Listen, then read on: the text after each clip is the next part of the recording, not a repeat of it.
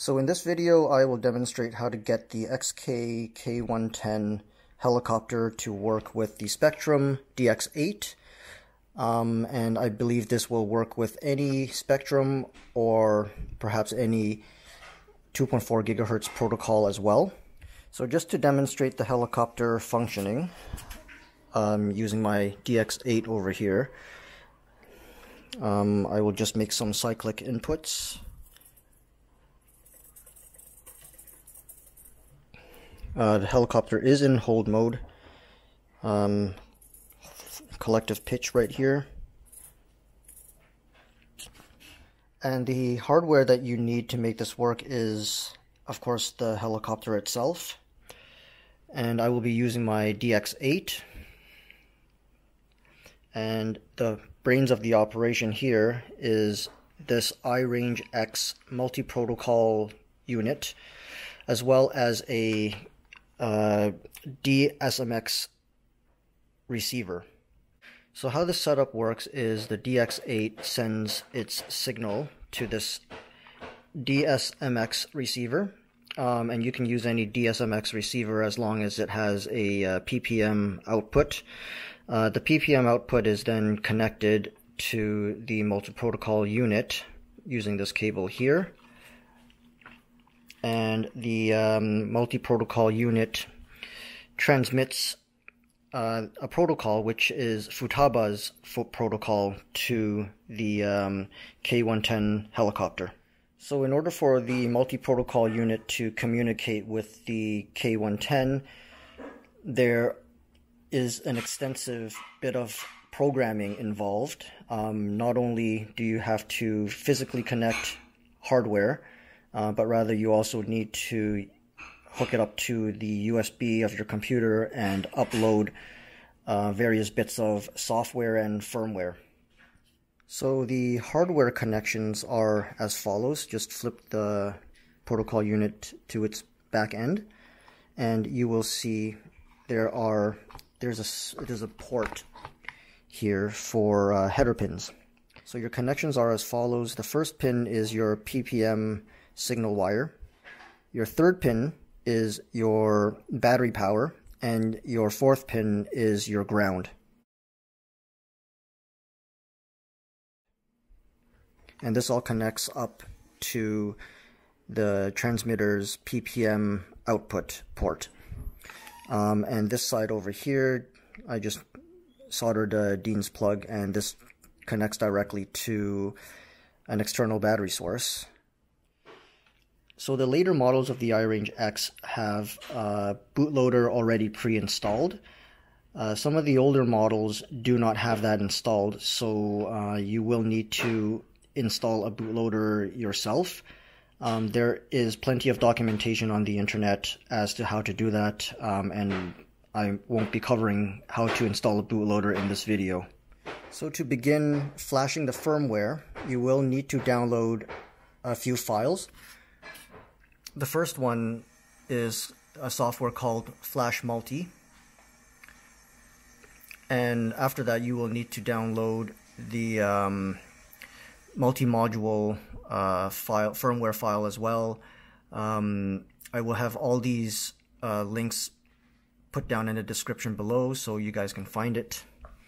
Uh, but what you need to do is just select the module that you have, and in my case, it's the iRangeX and these are just um, the file filter so that you can find um, which one which file is suitable for your multi-module.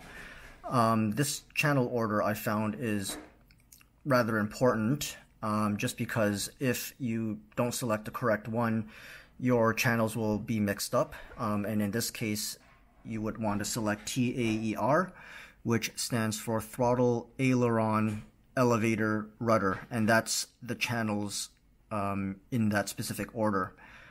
I think by default it is AETR, which the ailer, uh, aileron and elevator are the first two channels, and then you have your throttle as your third channel.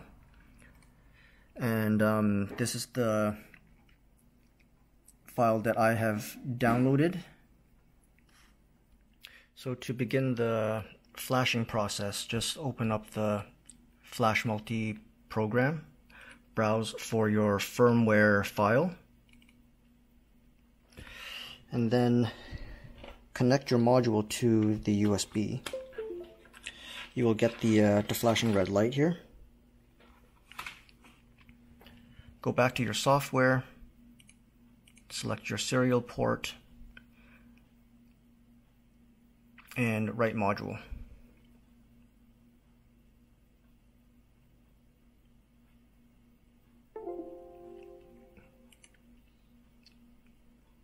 And after you're successful, you will see the green light has turned on and you have a steady flash or a flashing red light rather. And you can just unplug that from the USB. Additionally, you will also need to install the Maple driver for the um, multi-module so that the computer can recognize it. So this is in the same folder as the Flash Multi. Go into drivers, and just double click on install drivers. Your next step is to download the Arduino compiler um, and that's in software downloads. Um, and the uh, Windows installer if you're using Windows. And I have it already installed right here. And then the next step is to download the code for the multi-protocol transmitters um, and again, this will be linked down in the description. And you just download it, um, and I have it saved right here. You go back to your Arduino program, open it, and you find the file called multi-protocol. And it'll open it up over here. Go into this corner up here, find uh, config.h. And this is your configuration file. And this is where you can make the necessary configuration to get the uh, multi-protocol unit to work with uh, whichever whatever you're communicating with. So these are the configurations that I have made to this file. Just keep scrolling down. So to select um, spektrum, you would get rid of the slashes, um, and that would select spektrum as your transmitter.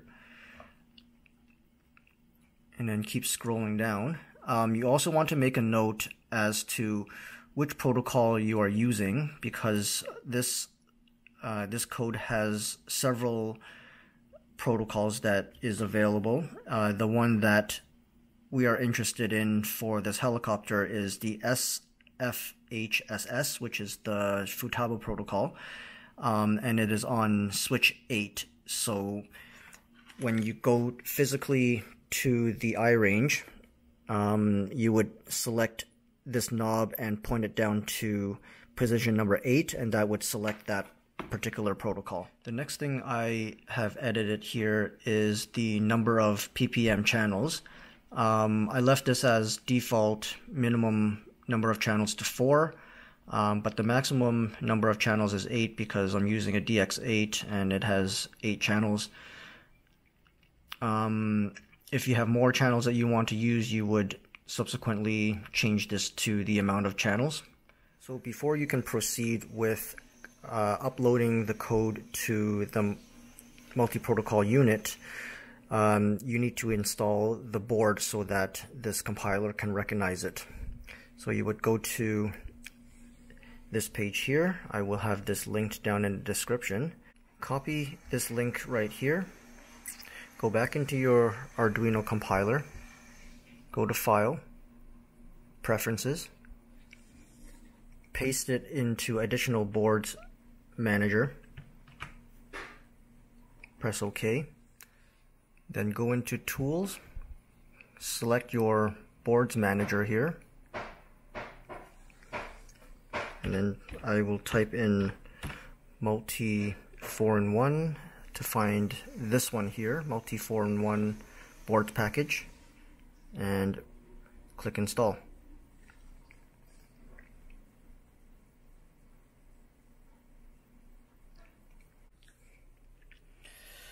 Plug this unit back into the USB.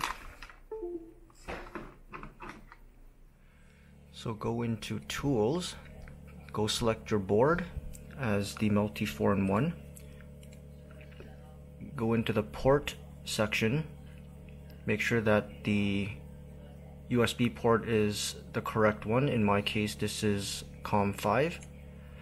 On the bottom right corner here, you should see that it is connected to COM5. And you are now ready to upload. It will compile first.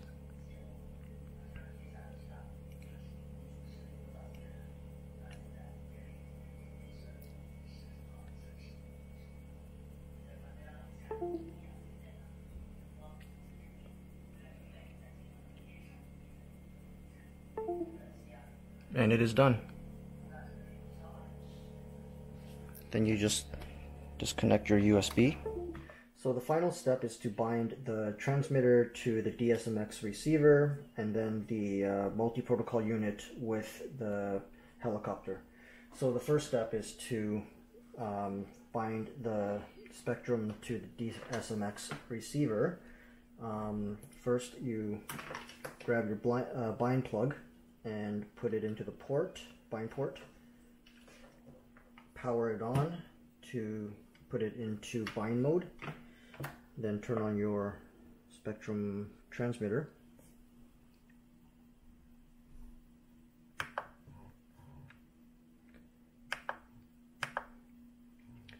Go into the bind menu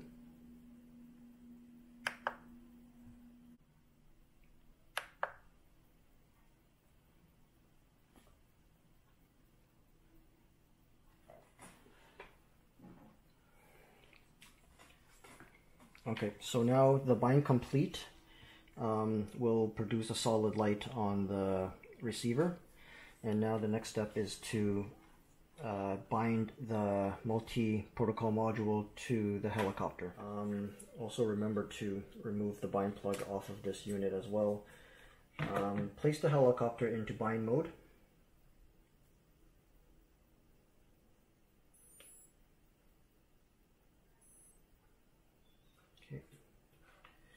And at the same time press the bind button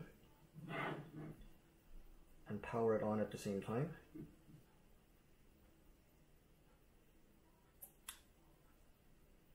Okay, now the helicopter is bound. So zoom in here. The helicopter is responding to my uh, DX8 transmitter. And those are all the steps in getting the Spektrum to work with the K-110 helicopter.